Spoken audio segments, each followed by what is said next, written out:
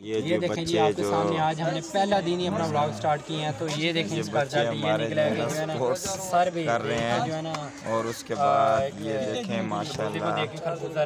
ये हमारे बच्चे टेबल टेनिस भी खेल रहे हैं। एक छोटा सा बच्चा जिमनास्टिक की एक्टिविटी कर रहा है जो हेल्थ के लिए बहुत ज़रूरी है। मैं तो कहता हूँ हर जो बोर्डिंग है उसके अंदर स्पोर्ट्स एक्टिविटी को लाजमी प्रमोट किया जाए। इससे बच्चा सेहतमंद होता है जहनी नशमनमा होती है बच्चा बीमारियों से बच जाता है और रात को नींद भी अच्छी आती है।